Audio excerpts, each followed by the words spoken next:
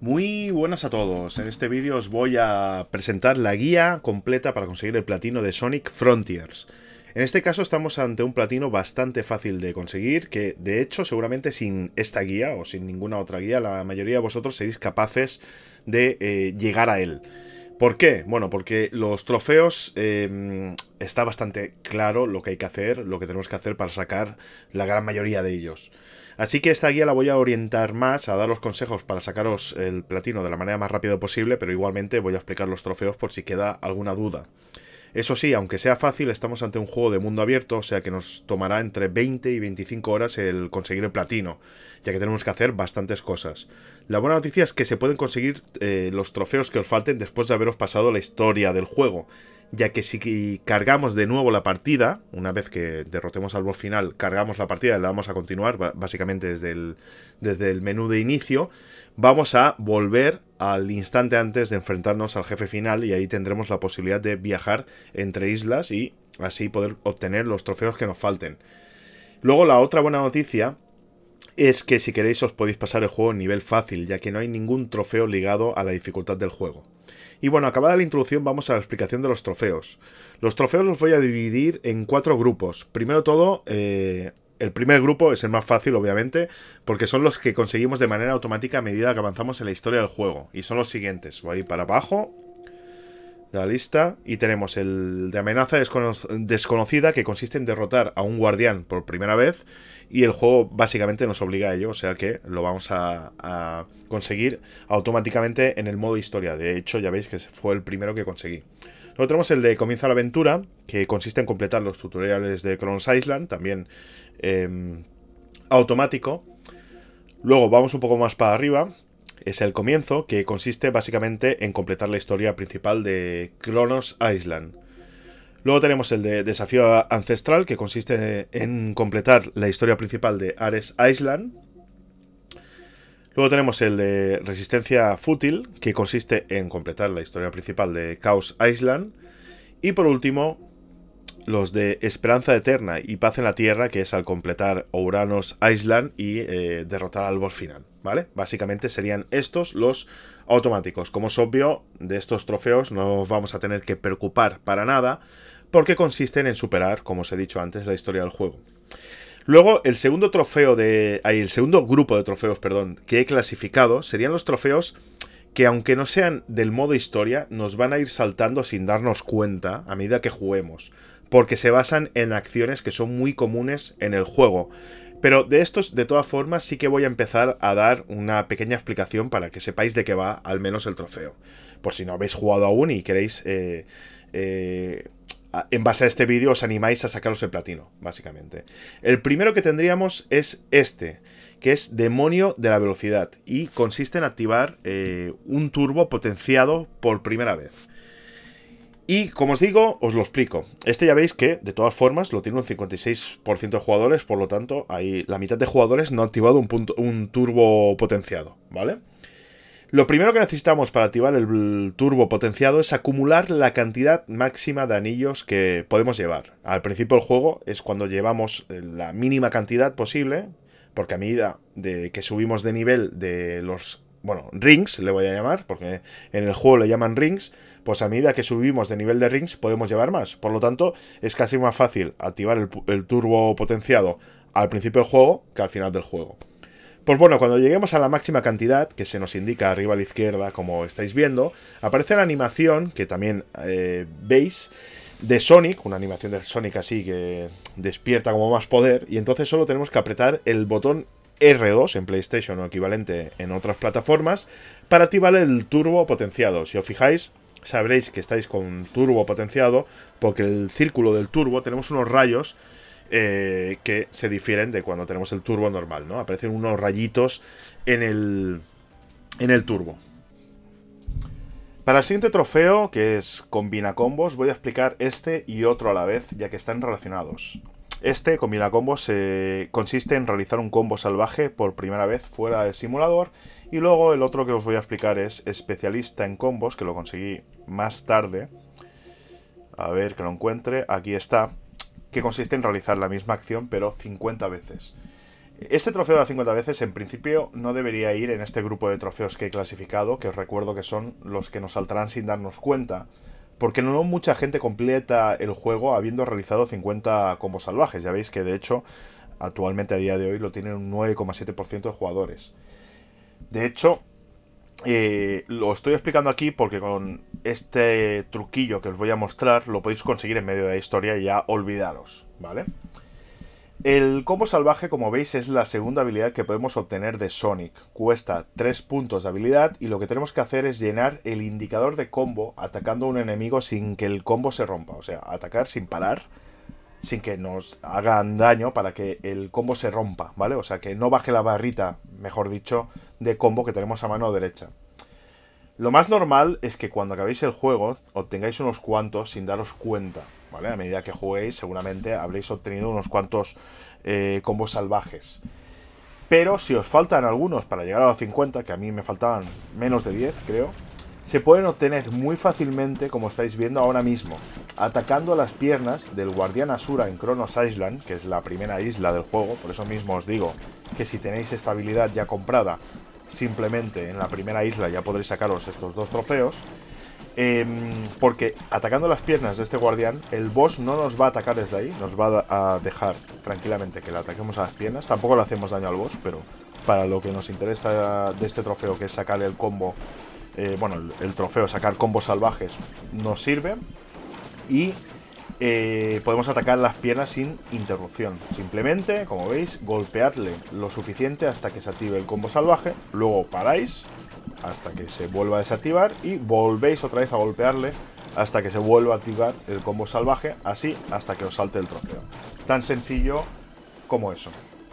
Los dos siguientes trofeos también serán muy muy fáciles de obtener, ya que consisten este, encuentro con el coco anciano, y este, encuentro con el coco ermitaño, ya veis que lo, lo dice, ¿no? En la descripción, y tanto en el nombre como en la descripción del trofeo, consisten en encontrarse al coco anciano y al coco ermitaño por primera vez.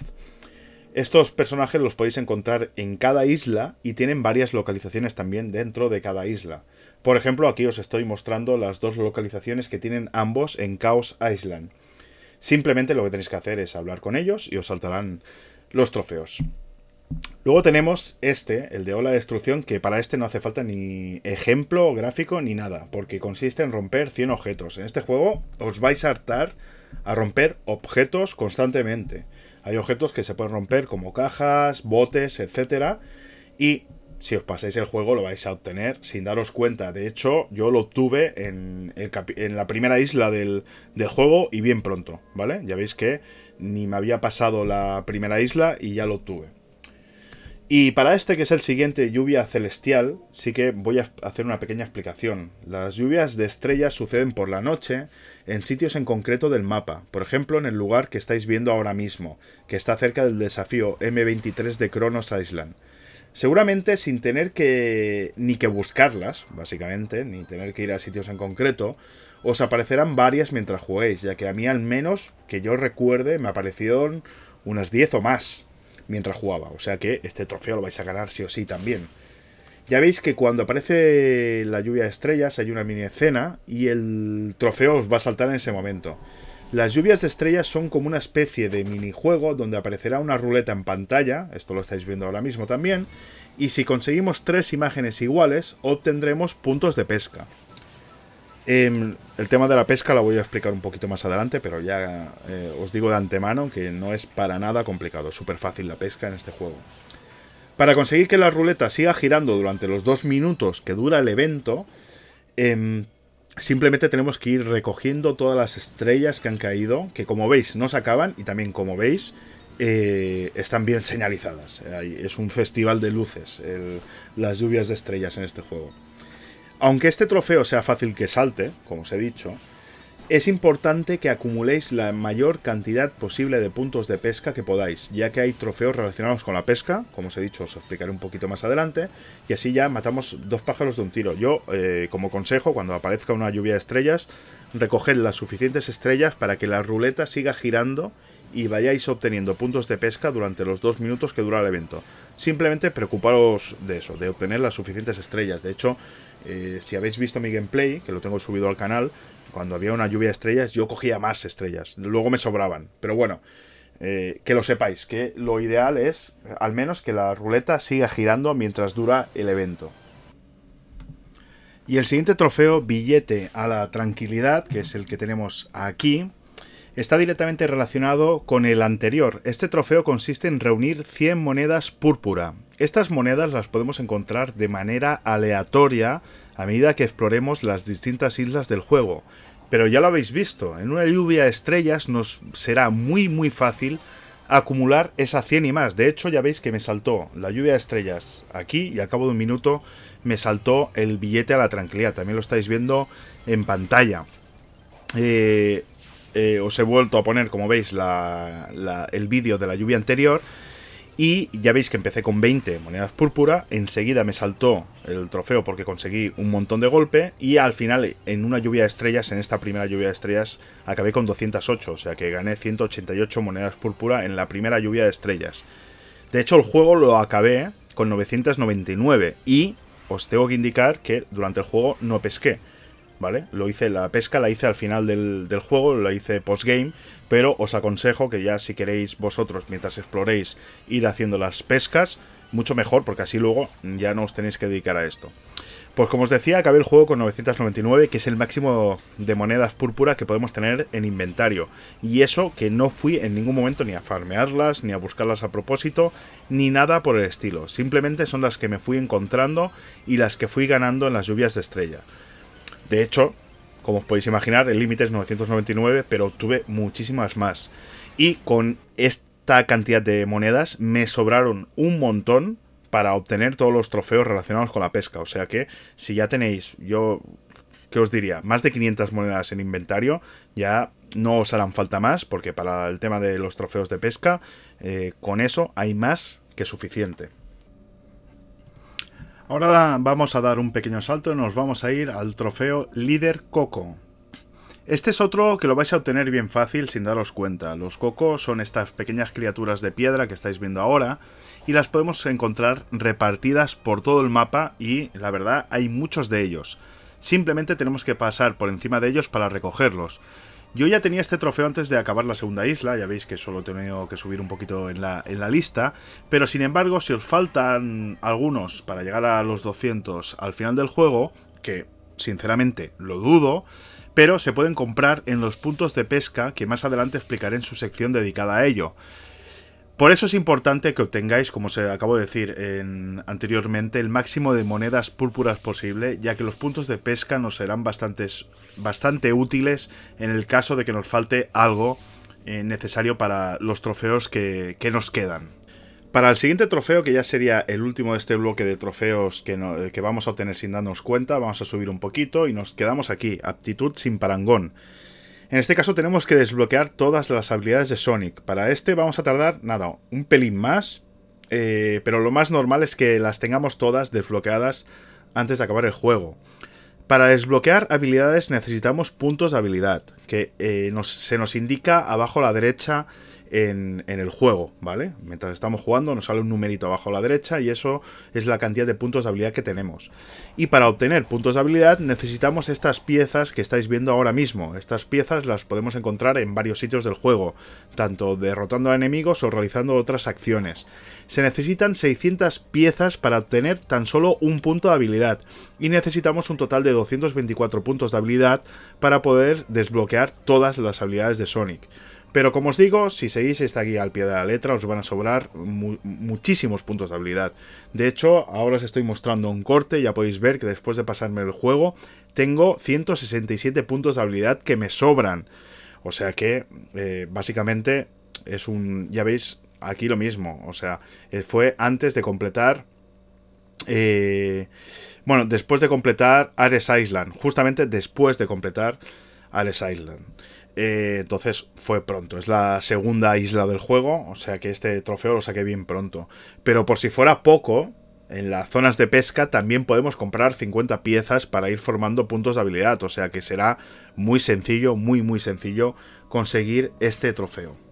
Y bueno, hasta aquí los trofeos que, vamos a obtener sin darnos cuenta. Y quiero aclarar esto de sin darnos cuenta, ya que viene relacionado con el siguiente grupo de trofeos que os voy a explicar, que son los trofeos que vamos a obtener explorando las islas a fondo.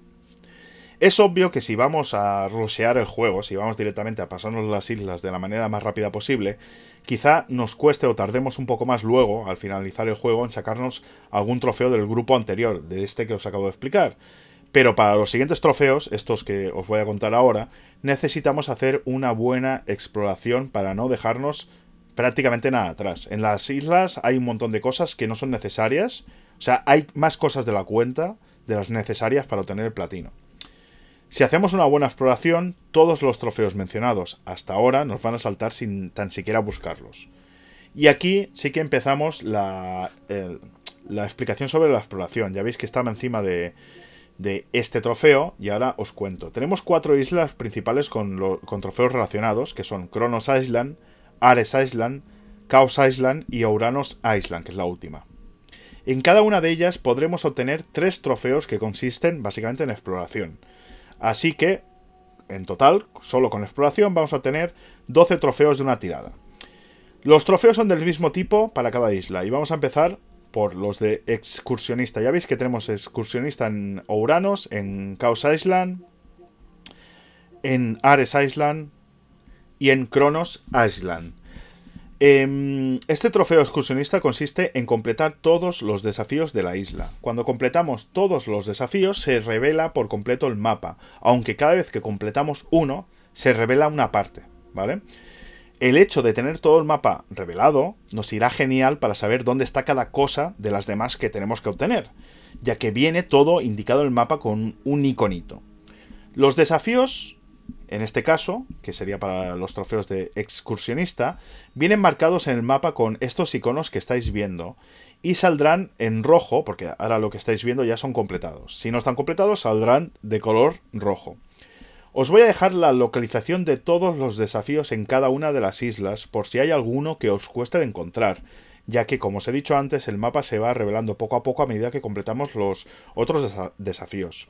Eh, debéis de tener en cuenta, por lo menos a mí me pasó, que cuando completamos un desafío y se revela una parte del mapa, aparece ya en esa parte del mapa que se ha revelado un icono de otro desafío, ¿vale? En principio podéis ir encadenando desafíos y no tendréis ninguna dificultad en encontrarlos. Pues sí que es verdad que me parece que fue en la tercera isla, en, en no sé si era Chaos Island, donde hubo un momento que había completado todos los desafíos que yo podía ver en el mapa y no veía el icono del siguiente desafío a completar porque estaba en una zona que estaba oculta en el mapa.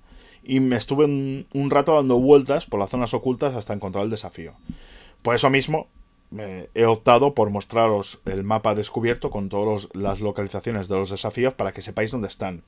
Tened en cuenta que cuando llegáis por primera vez a una isla tenéis el mapa totalmente oculto, por lo tanto tendremos que al menos encontrar el primer desafío eh, por nuestra cuenta. Pero bueno, con, este, con estos mapas ya os sirve.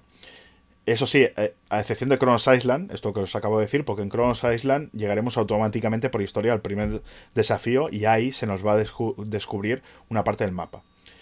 Pero bueno, eh, también hay que decir que hay unos pocos desafíos que estarán bloqueados, ya que requerirán que avancemos un poco en la historia de la isla para poder completarlos, ¿vale? Os van a salir con una cadenita pero, bueno, simplemente pues avanzáis en la historia de la isla y recogiendo gemas del caos. Ya sabéis que a mano arriba, a mano derecha, os indica el juego lo que tenéis que hacer, el siguiente objetivo que tenéis que cumplir. Por lo tanto, seguís avanzando hasta que el desafío se desbloquee.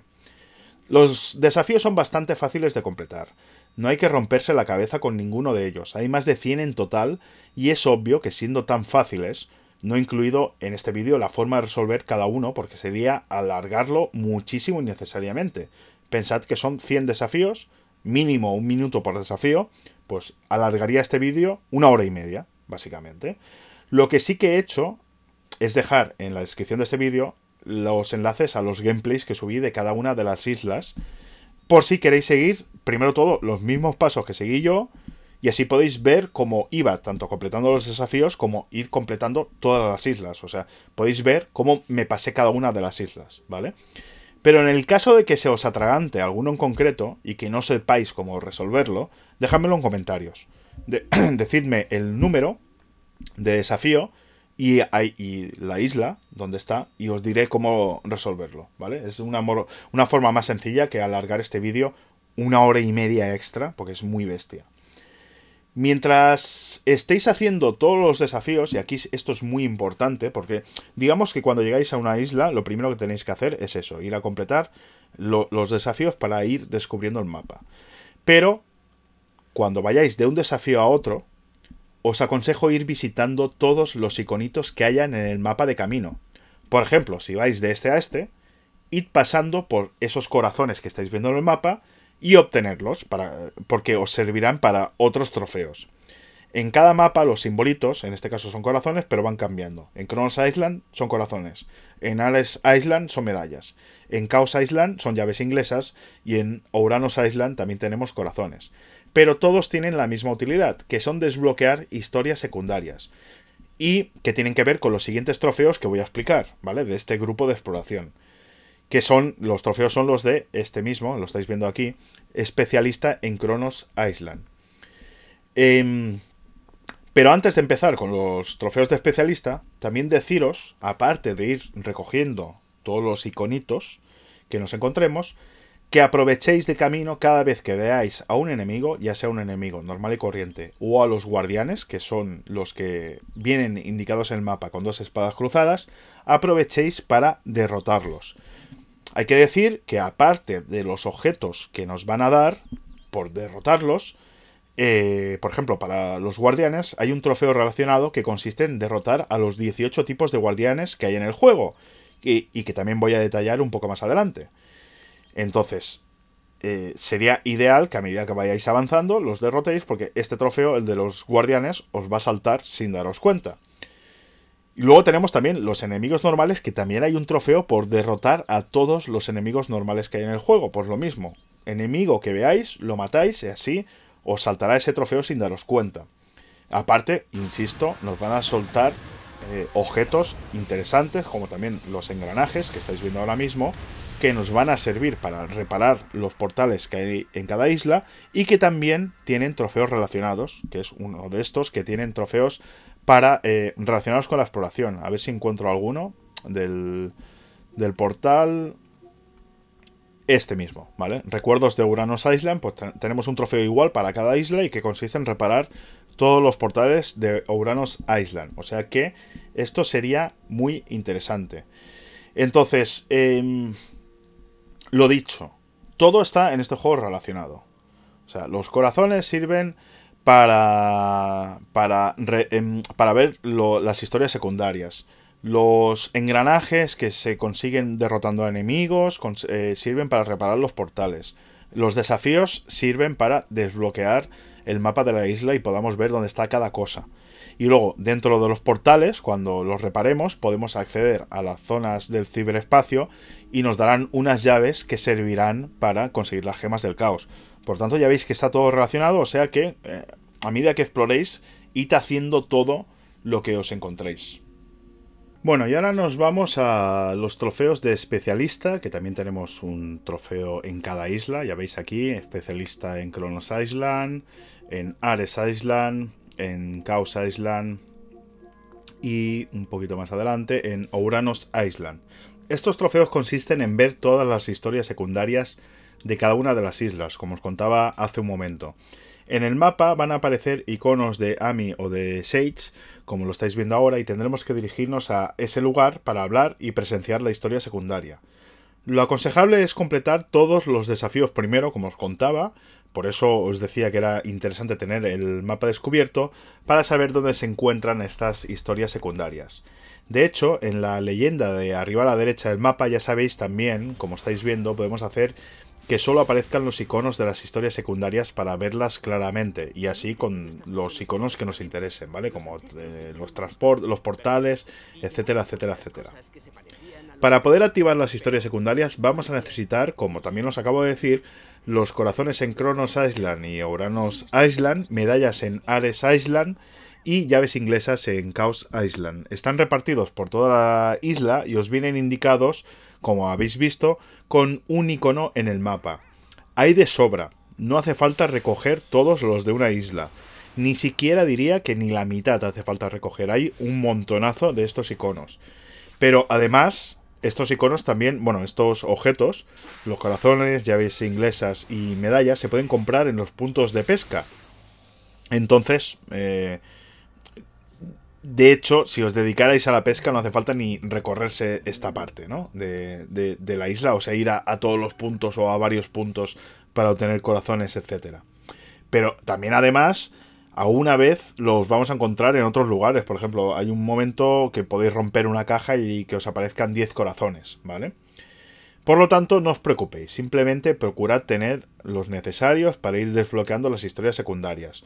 Em, de hecho, ya os lo he contado antes, cuando iba de un desafío al otro, procuraba de camino recoger, eh, bueno, ir por los iconitos que me aparecían en el mapa y con eso tuve suficiente. No me hizo falta mm, vaciar el mapa por completo. Y eh, además de los cuatro trofeos de historias secundarias, que son estos que estáis viendo de especialista, obtendremos otro trofeo, que vamos a ir eh, un poquito más adelante. Eh, este de aquí abajo pensaba que era posterior y sale antes en la lista, que es el de especialista en historia, que consiste en ver todas las historias secundarias. O sea que en general tendremos cinco trofeos relacionados con ver historias secundarias del juego. Y luego ya finalmente nos van a quedar los trofeos de recuerdos en cada una de las islas. Estos trofeos, que voy a ir un poquito aquí, por ejemplo, este, estos yo hay que decirlos, que excepto el de Ouranos Island, los demás los eh, conseguí después de haberme pasado la historia, pero estos también se pueden eh, conseguir básicamente explorando porque consisten en reparar todos los portales de cada una de las islas. Los portales son los que estáis viendo ahora. También, eh, mientras os explico, os dejo la localización de cada uno de los portales en las cuatro islas. Estos portales se pueden reparar usando los engranajes que habéis visto antes. Os he mostrado un ejemplo de engranaje cuando derrotamos a un guardián. Los vamos a ir obteniendo tanto, como os digo, de guardianes, de enemigos normales, también de objetos rompibles o también incluso comprándolos en puntos de pesca. De ahí a que os dijera al principio del vídeo y he, insistido tanto que son muy importantes los puntos de pesca. Y yo aquí también, eh, esto lo voy a contar un poco más adelante, pero os eh, adelanto que yo no pesqué en ningún momento de la historia. Dejé la pesca para el final. Y luego me di cuenta que era bastante interesante eh, haberme parado a pescar en cada una de las islas porque la mayoría de objetos que me faltaban los hubiese conseguido muchísimo antes. Pues bueno, como os he explicado antes, a medida que exploréis para completar todos los desafíos, procurad ir rompiendo todo, derrotando todos los enemigos que os encontréis, para tener los suficientes engranajes y reparar todos los portales. Y un apunte, para estos trofeos en concreto no es necesario entrar a un portal para que cuente como reparado. Simplemente lo reparáis y ya está. Pero sí que es verdad que el juego nos obliga a entrar a unos cuantos portales y completar zonas del ciberespacio para ir obteniendo eh, unas llaves que nos harán desbloquear las gemas del caos de cada una de las islas. O sea que, eh, al final, como os decía hace un rato, todo está enlazado. Tenemos que hacer de todo en este juego, aunque no es necesario hacer absolutamente todo, o sea, limpiar el mapa. Y hasta aquí llegarían los trofeos de pura exploración. Ahora nos quedaría ya finalmente el cuarto grupo de trofeos que son los que tenemos que hacer algo en concreto para conseguirlos. Por ejemplo, vamos a empezar por este que estáis viendo ahora mismo, que es el de clasificación suprema, que consiste en conseguir un tiempo de rango S por primera vez en una zona del ciberespacio. Como os acabo de decir, se entra en el ciberespacio a través de los portales de cada isla. Allí, bueno, primero de todo tenemos que repararlos, ya os he contado sobre ello, y una vez que entramos al ciberespacio tenemos que completar la fase con un tiempo menor de lo que se nos indica para obtener el rango S. Esto obviamente es cuestión de habilidad, pero hay una gran variedad de portales, algunos más fáciles, otros más complicados, pero yo creo que es bastante asequible. El trofeo ya veis que lo ha conseguido la mitad de los jugadores, o sea que es sencillo. Yo os estoy dejando ahora mismo la fase en la que lo conseguí, eh, sin buscarlo ni nada. ¿eh? Básicamente empecé a jugar en este ciberespacio y, y, me saltó el trofeo, básicamente. Obviamente el consejo es acelerar todo el rato con R2, sin preocuparse de nada más, para este trofeo en concreto. No hace falta, ya sabéis que en cada portal hay varias misiones que tenemos que conseguir, Son siempre las mismas en todos los portales, que es eh, conseguir el tiempo en rango S, eh, conseguir los 5 anillos rojos o conseguir una cantidad de anillos normales que nos indican. Pero para este trofeo en concreto solo tenemos que conseguir el tiempo de rango S. Pasad de todo lo demás. Simplemente completamos la zona en el menor tiempo posible y ya está. Además, por si fuera aún más fácil, podéis repetir cada zona del ciberespacio las veces que queráis. O sea que será un objetivo bastante asequible. Algo más complicado, aunque no tanto como parece, es el siguiente trofeo del que vamos a hablar, que también está relacionado, que es el de Racha Perfecta, que consiste en completar todas las misiones de una zona del, ciberespacio. Aquí sí que vamos a necesitar completar el tiempo con un rango S, recoger los 5 anillos rojos y recoger la cantidad de anillos normales que se nos indica en el portal en concreto. La buena noticia es que no es necesario hacer todo eso en una sola carrera. Por ejemplo, eh, podéis dedicaros a completar una zona del ciberespacio con rango S, luego salís, volvéis a entrar, recogéis todos los anillos rojos, luego salís, volvéis a entrar y obtenéis todos los anillos normales que se os indican en el objetivo. Las misiones que tenemos en una carrera, eh, por ejemplo, aquí, antes hemos completado en el trofeo anterior eh, un portal con rango S. Pues esa ya, se queda guardada para siempre y simplemente tendréis que volver a entrar para completar el resto de misiones en los intentos que queráis. O sea, tenéis eh, infinitos intentos para cada portal. Mientras os estoy explicando esto, he dejado el vídeo del portal en concreto en el que obtuve el trofeo. Pero bueno, como os decía, tenemos tal cantidad de portales y posibilidades que aunque sea más este trofeo más difícil que el anterior, obvio, sigue siendo un trofeo bastante sencillito. De hecho, ya veis que lo tiene un 45% de jugadores. El siguiente trofeo que os cuento, que es el de amenaza identificada, consiste en derrotar, vamos a ir un poquito más arriba, aquí está, consiste en derrotar a todos los guardianes o a todos los tipos de guardianes del juego. Si me habéis hecho caso a lo que os he indicado más atrás en el vídeo, este trofeo os va a saltar mientras exploréis, básicamente. recordad eh, lo que os he dicho, mientras vayáis de un desafío a otro, cada vez que os encontréis con un guardián, derrotarlo. Cada guardián que veáis en el mapa, os lo cargáis. Hay 18 tipos distintos de guardianes en todo el juego. Hay 4 tipos distintos en Kronos Island, 4 tipos distintos en Ares Island, 4 en Chaos Island y 6 tipos distintos en Auranos Island. En cada isla ya habéis podido ver antes que en el mapa, en los simbolitos que tienen dos espadas rojas cruzadas, eh, hay muchos tipos de... Bueno, hay muchas localizaciones de guardianes. Por lo tanto, los guardianes están repetidos, obviamente. Simplemente tenéis que derrotar los cuatro tipos en las tres primeras islas y los seis tipos en la última isla. Aquí os estoy dejando unas fotitos para que sepáis reconocerlos, cada uno de los tipos que hay y os indico en qué islas aparecen. Y bueno, finalmente ya vamos por los últimos trofeos en los que hay que hacer algo en concreto. Ahora toca hablar de la pesca. La pesca, como os he dicho antes, es importante en el caso de que os falten ciertos objetos para el juego, ya que disponemos de una tienda para comprarlos, ya lo habéis visto durante distintas ocasiones en este vídeo. Pero además tiene un trofeo relacionado. El primero es sencillito, que consiste en completar el tutorial de pesca.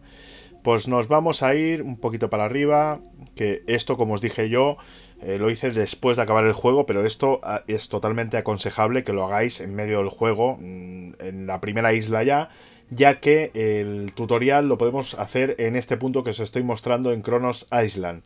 Y ya que estamos aquí, si tenéis las suficientes monedas, obviamente, las monedas púrpuras, eh, que ya os he contado antes cómo conseguirlas, nos podremos sacar el siguiente trofeo que es el de Club de Pesca. Ya veis que entre el tutorial que lo hice el día 13 a las 12.34 y entre el trofeo Club de Pesca tardé 11 minutos, por lo tanto se sacan enseguida. Este trofeo Club de Pesca consiste en pescar todas las especies de una zona de pesca. Esto se puede realizar en cualquier punto de pesca, pero en este punto donde hemos sacado el tutorial es donde es más fácil. Eh, porque solo cuenta una moneda púrpura cada vez que pesquemos, y hay un total de 32 ítems que pescar distintos. Además, cada vez que pesquemos saldrá uno nuevo, o sea, quiere decir y los pescaremos seguidos, no será aleatorio y, y, tendremos que hacer 200 intentos para pescar todas las especies de una zona de pesca, sino que cada vez que pesquemos saldrá uno distinto, o sea que simplemente nos tendremos que gastar 32 monedas púrpuras para pescar 32 veces para que nos salte este trofeo. Y ya estáis viendo en el vídeo que la pesca en este juego es súper sencilla. Eh, no hay ningún secreto, ningún misterio. No, requiere ni tan solo de nada de habilidad. Simplemente es pescar, apretar el botón en un momento preciso, en concreto, y ya está. Bueno, pues dicho lo de la pesca, que como veis he acelerado el proceso de los 32, porque si no aquí nos estábamos estos 11 minutos que tardé en sacarme los dos trofeos. Nos vamos a centrar en los trofeos que consisten en subir al 99 todos nuestros niveles. Vamos a ir por aquí. Son estos cuatro de aquí eh, que tenemos. Tenemos el, el, de erizo de corazones, que es el que estáis viendo ahora marcado, que consiste en subir el nivel de rings al máximo el de erizo supersónico, que consiste en subir el nivel de velocidad al máximo, el de erizo endurecido, que consiste en subir el nivel de defensa al máximo, y el de erizo hercúleo, que consiste en eh, subir el nivel de potencia al máximo. Para subir el nivel de rings y de velocidad al, al máximo necesitaremos encontrar muchos cocos, ya, sabéis, ya las habéis visto antes, que son esas criaturas diminutas de piedra, y se los tendremos que entregar al coco anciano. Allí nos dará a elegir, bueno, por cierto, el coco anciano ya os he explicado antes que está localizado tanto el anciano como el ermitaño en varios puntos de cada una de las islas, ¿vale?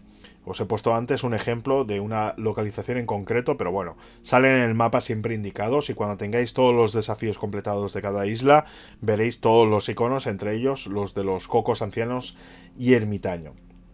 Pues bueno, antes ya os he comentado eh, que los cocos nos los vamos a ir encontrando mientras exploremos, pero seguramente os falten unos cuantos para llevar todos los niveles al 99. Pero la solución fácil la tenemos en los puntos de pesca. A medida que pesquemos obtendremos unas fichas que podremos intercambiar por objetos en la tienda de la zona de pesca. De ahí a que lleve todo el vídeo diciendo que la pesca es súper importante. Allí podremos comprar, entre todas las cosas que ya hemos visto, pues cocos. Si habéis hecho caso a esta guía, tendremos una enorme cantidad de monedas púrpura para poder pescar y si habéis completado el trofeo de pescar todas las especies, que es precisamente el anterior que acabo de explicar, de una zona de pesca, ya habréis obtenido muchas fichas para poder comprar en la tienda. En el caso de que no tengáis fichas suficientes, simplemente seguid pescando en otra zona de pesca para ir acumulando. Yo tuve que hacerlo en dos zonas de pesca. Hice la del trofeo, la que os acabo de decir anteriormente, y luego me fui a otra zona de pesca, la completé entera, y ya con eso ya tuve suficiente para comprar todo lo que eh, necesitaba para estos cuatro trofeos. Pues bueno, en este caso, una vez que tengamos los cocos suficientes, solo tendremos que hablar con el coco anciano, que, como os he dicho, está en varios puntos de cada isla, y, vamos a intercambiar esos cocos por velocidad o rings. Lo que sí que os puede resultar un poco tedioso, bastante lento, porque, eh, es que eh, solo podemos subir el nivel de uno en uno. O sea, aunque tengamos 4.000 cocos, si eh, no nos da la opción de subir directamente a nivel 99. Tenemos que ir de uno en uno. Es un poco pesado, ya lo estáis viendo en el vídeo.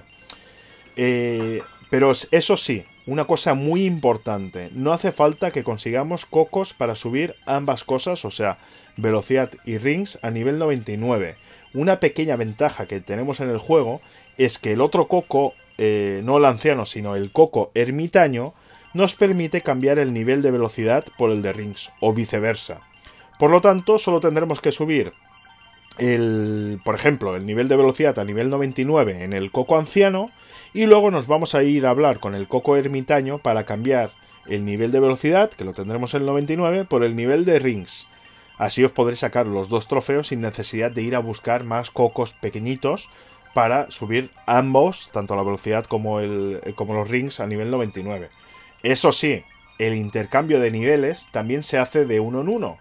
Eh, de hecho, me tardé un buen rato pulsando botones para sacarme ambos trofeos.